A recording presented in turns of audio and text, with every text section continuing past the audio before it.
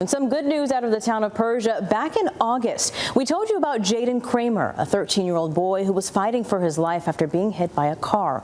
Well, tonight, I'm pleased to report that Jayden, better known as JJ, has been released from Strong Memorial Hospital and was welcomed home by an entire community.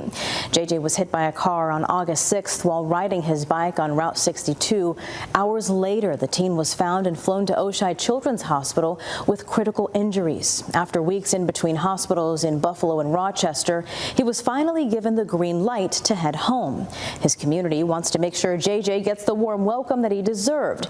And nothing quite says welcome home like a parade. Hundreds gathered for the 10th annual Gowanda Spirit Parade last night, and right there in the heart of it was JJ as his neighbors cheered him on. And tonight I caught up with a family friend of the Kramers as she tells me more on JJ's recovery and what it means to have him home. A miracle unfolding right before the eyes of residents in the Gowanda community and beyond. 13-year-old Jayden Kramer is seen riding along in a golf cart in his own homecoming parade Thursday. On Friday afternoon, Valerie Eddy, a family friend of the Kramers, shared moments of the parade. It was an outpouring of the community love that they have been showing him since the beginning of this accident. It was amazing. You can see JJ snapping his fingers and pointing at onlookers as they welcomed him home. And this is video of the young teen leaving the hospital from Rochester prior to the parade. His dad assisting him while JJ is being released. Talk about what it's like to be able to see him recover from something that you saw him struggling with about two months ago. My family was there the morning that he was um, sent to Oishei Children's Hospital.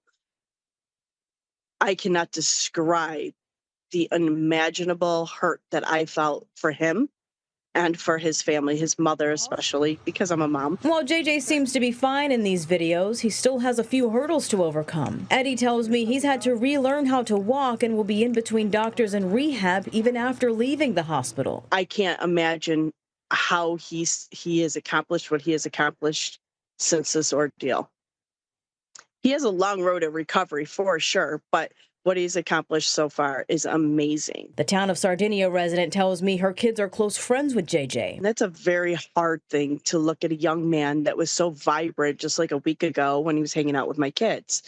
Um, to watch the transformation, to have the unknown be a blessing in such a way, I cannot describe it other than it is it's backed by faith. Valerie Eddy tells me the family is dealing with a medical bill pileup. So to help offset the medical cost, the community is hosting a benefit for JJ's Road to Recovery.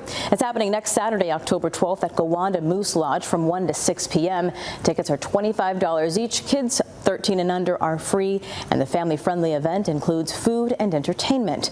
Ways to buy tickets for the event can be found on our website, wkbw.com.